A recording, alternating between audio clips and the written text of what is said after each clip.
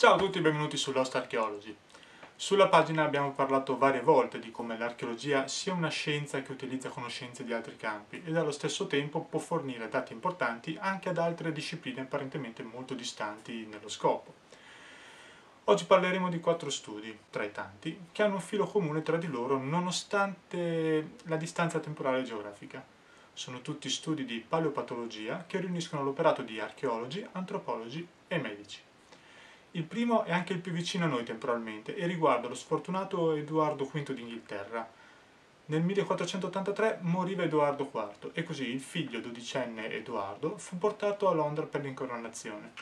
Assieme al fratello di dieci anni, Riccardo, venne alloggiato nella torre di Londra in attesa dell'incoronazione, che non arrivò mai. Infatti furono dichiarati figli legittimi, forse per le trame dello zio, il futuro re Riccardo III. Di loro non si sentì più parlare, creando così la diceria, ben conosciuta nei secoli successivi, della morte all'interno della torre. Durante i lavori svolti nella White Tower, nel 1674, venne ritrovata una cassa con le ossa di due individui molto giovani e, ritenendoli due bambini, vennero posti in una cappella dell'abbazia di Westminster, dove rimasero fino al 1933, quando i loro resti vennero riesumati per eseguire indagini moderne.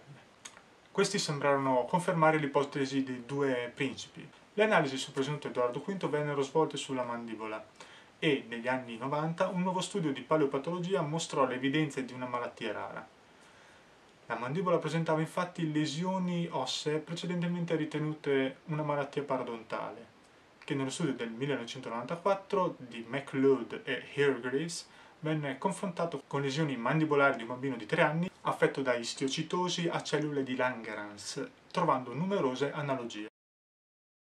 Un'altra diagnosi simile è quella pubblicata da Mace e Ehrlich nel 1992, riguardante lo scheletro di un bambino di 8 anni scoperto nello scavo del cimitero medievale di Warren Percy in Inghilterra. Uno scheletro precedente di circa due secoli rispetto a quello del presunto Edoardo V e che giunse a noi quasi completo testimoniando lesioni al cranio e alla mandibola, anche se ricollegata alle stiocitose cellule di Langerhans. La mandibola mostrava l'assenza della dentatura inferiore sinistra, perduta quando ancora in vita, e la distruzione della fossa mandibolare e dell'osso sfenoide. Uno studio precedente voleva vedere in queste lesioni il segno lasciato dallo scorbuto, ma l'assenza totale di segni sulle altre ossa portò Mace e Ehrlich a formulare varie ipotesi sulla base dei dati ottenuti, scartandole una ad una in base all'assenza di determinati fattori. Osservando queste lesioni, giunsero così alla conclusione che si trattasse con alta probabilità di istiocitosi a cellule di Langerhans per la tipologia delle lesioni e della sua più comune manifestazione nel cranio. Assieme ad una iperostosi porotica causò la morte del bambino.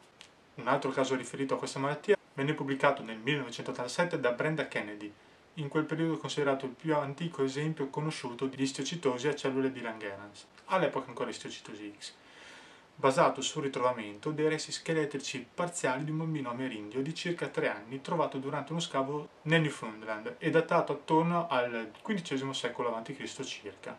Più recente invece il caso proveniente dall'Egitto, pubblicato dal dottor Misrav Chavka assieme a studiosi di altri campi, riguardante una mummia del X secolo a.C. La mummia rivelò, a parte la sorpresa di essere di sesso maschile anziché femminile come veniva invece lasciato intendere dalla cassa, il decesso per malattia attorno a 20 anni di età. Per analisi vennero utilizzati raggi X, una tomografia computerizzata e l'imaging in risonanza magnetica, le quali mostrarono i profondi danni che la malattia causò a grandi parti dello scheletro del ragazzo, lasciando lesioni litiche. Questa mummia rappresentava un caso di Hans Schüller Christian, una delle malattie oggi raggruppate nell'istiocitosi a cellule di Langerhans. Quattro casi lontani nel tempo e geograficamente, tutti accomunati da un'unica malattia. La convinzione che alcune malattie siano prerogativa dei nostri tempi è ormai una visione passata ed oggi vi è la consapevolezza di come uno studio dei resti umani del passato possa fornirci dati importanti per meglio comprendere anche malattie considerate rare. Una malattia come quella dell'istiocitosi a cellule di Langerhans, un tempo mortale ed altamente dolorosa, è oggi, per quanto grave, fortunatamente meglio individuabile e trattabile. Le cause della sua insorgenza non sono ancora conosciute, ma viene ricondotto ad un difetto dell'immunoregolazione che porta ad un accumulo, solitamente sotto forma di granulomi, delle cellule di Langerhans in alcuni tessuti che possono essere locali o diffusi in tutto il corpo. Si tratta di una malattia che si presenta negli infanti ma a volte anche fino ai primi anni dell'età adulta e colpisce solo poche persone al mondo, maggiormente gli individui maschili. Abbiamo trattato solo le evidenze antiche ossee di questa malattia, in quanto testimonianza più duratura. Allo stato attuale delle conoscenze, la malattia, quando si presenta focalizzata su di un singolo organo, ha una prognosi eccellente. Purtroppo, nel caso di malattia diffusa su più organi, è riscontrata la mortalità di un paziente su 10. Oggi è il Rare Disease Day e tutti insieme, ognuno a modo proprio, abbiamo voluto focalizzare la vostra attenzione su alcune delle numerose malattie che necessitano una profonda ricerca per dare maggiori possibilità a chi ne è affetto. I miglioramenti in campo medico si ottengono grazie alla ricerca e questo è possibile solo grazie allo stanziamento di fondi dedicati ad essa. Ma anche ognuno di noi, nel suo piccolo, può fare qualcosa. Se ne avete la possibilità, vi invito ad effettuare una donazione a qualche associazione che si occupa di malattie rare in modo che possa continuare il proprio operato.